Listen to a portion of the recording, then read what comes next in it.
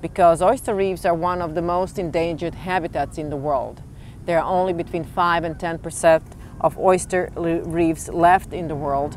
And New England and this whole area were used, uh, when uh, Native Americans used to live here, they used to walk on oyster reefs between the islands that you learned about. There are around 34 islands in Boston Harbor. Why, why do I love oysters and why do I think that you should learn more about oysters? They're amazing creatures that have been living here for hundreds of millions of years.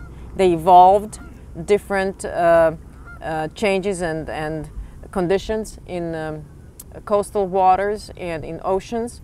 They love clean water and uh, they actually also make water more clean because they can filter like this one. Look at this. This is like a big specimen, probably around four years old, maybe more, because they grow very slow here. There is not very good conditions for them to grow. But they can filter, the adult oyster can filter around 50 gallons of water. That's like your bathtub.